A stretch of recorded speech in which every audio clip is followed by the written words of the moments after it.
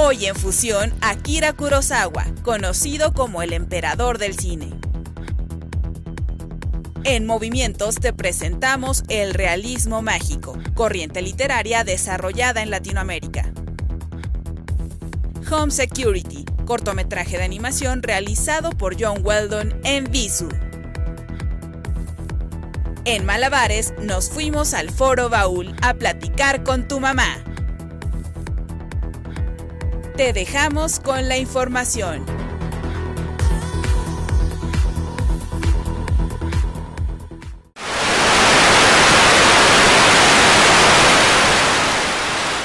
Bueno, pues hoy tenemos que terminar temprano, por favor, porque después hay que hacer muchas otras cosas, ¿no? Yo también necesito terminar temprano. Y ¿sabes qué? Me encantan estos espantasuegras. Porque hoy es nuestro aniversario. Así es, amigos, nos estamos preparando para nuestro primer aniversario. Y traje mi caracol de la suerte. Ay, Lalo.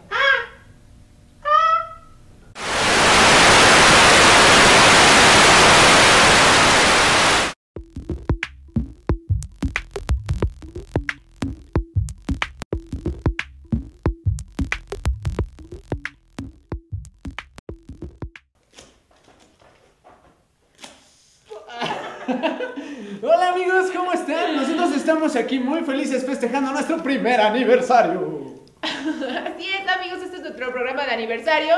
Y nosotros comenzamos este programa con el realismo mágico. Así es, esto es Movimientos. Quédense, esto es itinerante, el aniversario.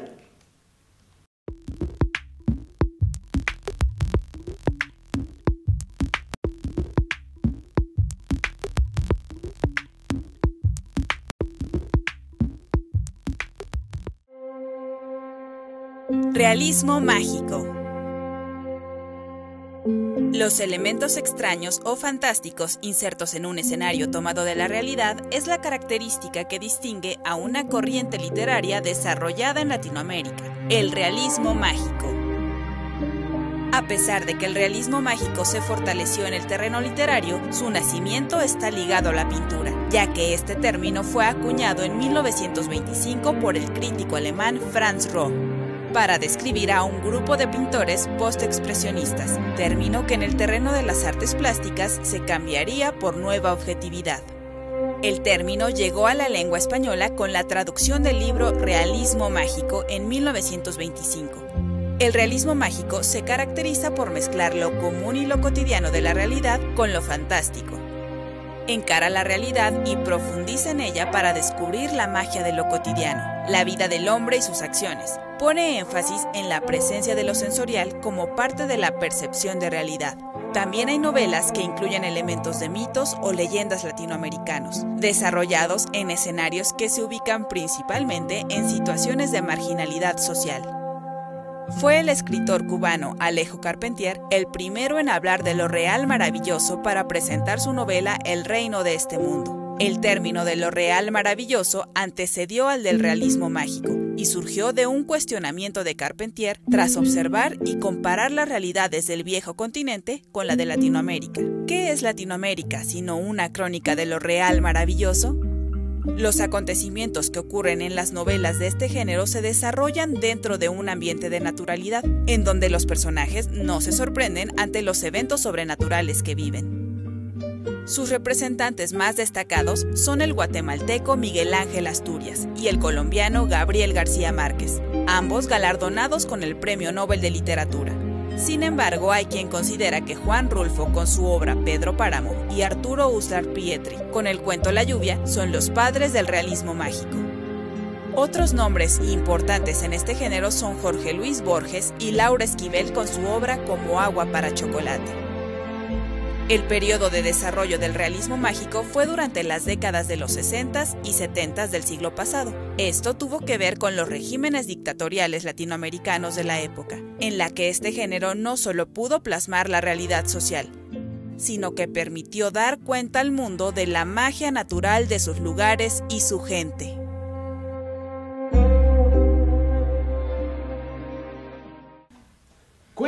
Que Alejo Carpentier, que era de lo, bueno, cubano, de los primeros exponentes de esta corriente literaria, viaja a Europa tratando de contagiarse y aprender acerca del surrealismo.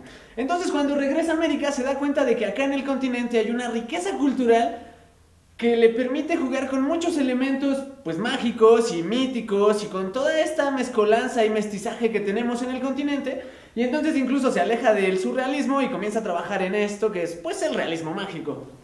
Y Lalo, para los que no les gusta mucho leer, les podemos recomendar la película Del amor en los tiempos del cólera, que está basada en el libro de Gabriel García Márquez.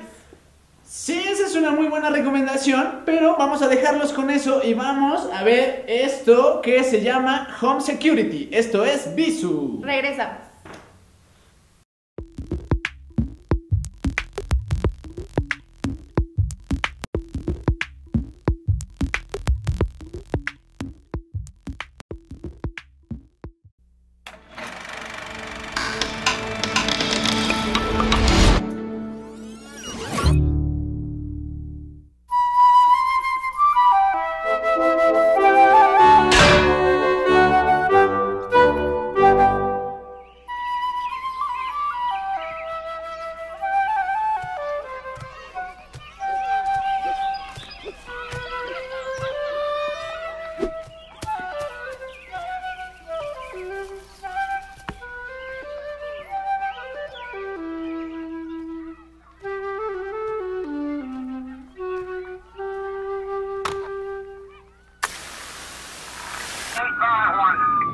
Ten different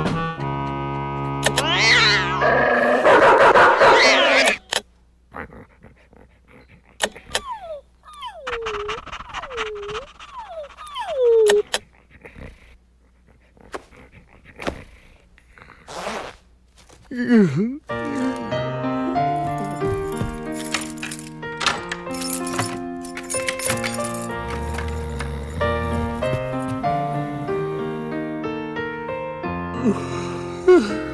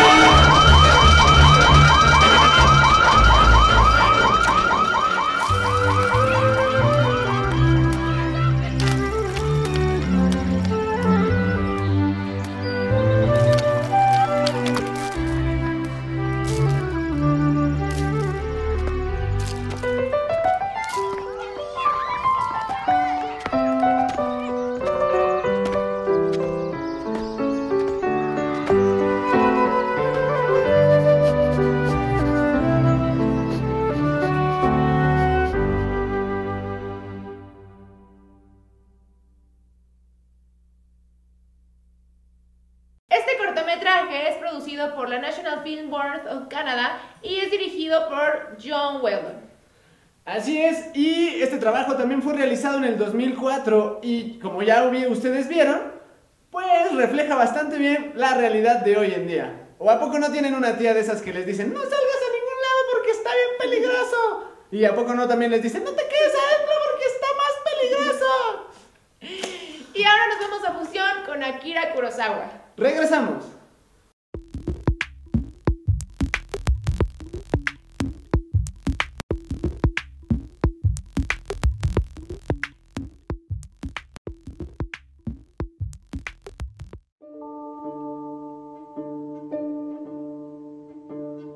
Akira Kurosawa.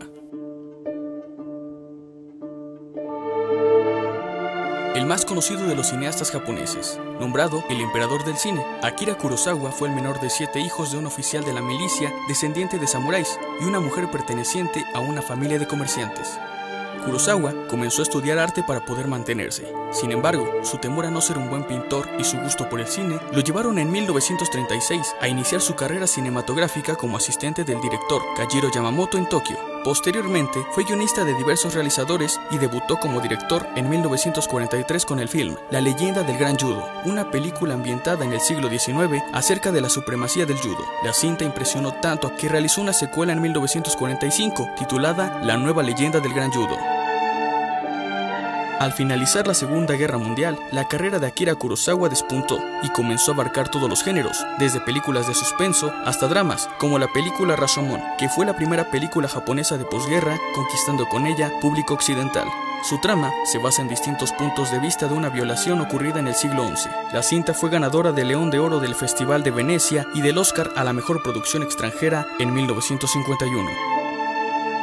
Durante la segunda mitad de la década de los 40 realizó siete películas, entre las que destacan los dramas No añoro mi juventud, Un domingo maravilloso y El ángel borracho, la primera de siete colaboraciones con el famoso actor Toshiro Mifune.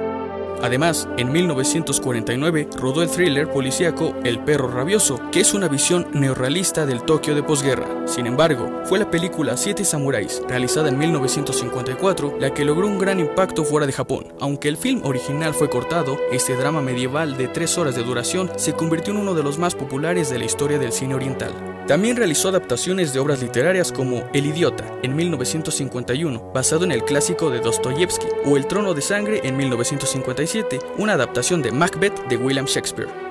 Desde aquel tiempo, diversos cineastas americanos y europeos comenzaron a tomar los films de Kurosawa como una influencia para la realización del argumento de sus propios trabajos. Ejemplo de ello son los films Yokimbo, una adaptación en 1964 por Sergio Leone con el título Un puñado de dólares, o como lo fue Siete Samuráis para John Sturges de donde tomó las bases para la película Los Siete Magníficos, realizada en 1960. De hecho, esta nueva versión de Siete Samuráis obtuvo mayores ganancias en Japón que las que obtuvo la versión de Kurosawa. A mediados de los 80 realizó la película Runaway Train, basada en el guion no filmado del director japonés. En los 60, Akira Kurosawa abandonó el formato de acción por el de drama esotérico y serio, dentro del que se incluye el melodrama Barbarroja de 1965, película que fracasó en el terreno comercial, lo cual propició que el director no encontrara productores para sus siguientes cintas, tardando cinco años en filmar un nuevo proyecto, tiempo durante el cual Kurosawa cayó en una profunda depresión hasta llegar a cometer un intento de suicidio. Después de ello, logró que la entonces Unión Soviética financiara su siguiente éxito, Dursu Usala, película reconocida como uno de sus mejores trabajos, con el cual el Gran Premio del Festival de Moscú y el Oscar a la mejor película extranjera en 1975. Akira Kurosawa murió el 6 de septiembre de 1998. Sus dos últimos trabajos fueron Rapsodia en 1991 y Madayayo, filmado en 1993, films que se proyectaron después de su fallecimiento. Conseguir los fondos para llevar a cabo la realización de sus películas más ambiciosas eran uno de los grandes problemas con los que frecuentemente se topaba este cineasta japonés. Financiamiento que obtuvo mayoritariamente en países de Europa y América, cuyo público ha sido cautivado por su obra de herencia oriental y que hace de Akira Kurosawa un director poco convencional que dejó un gran legado al cine de Occidente y que por supuesto no puede faltar en este programa. Por ello, te lo presentamos en fusión.